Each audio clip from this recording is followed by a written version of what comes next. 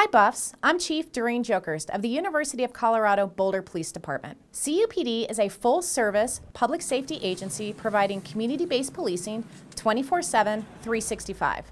We have police officers, community safety officials, and residential service officers who patrol campus and support safety in our community.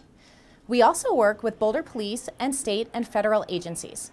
We have strong relationships with these public safety partners to ensure the most coordinated response possible when emergencies occur. Learn more about CUPD at colorado.edu slash police and be sure you're signed up for alerts at alerts.colorado.edu.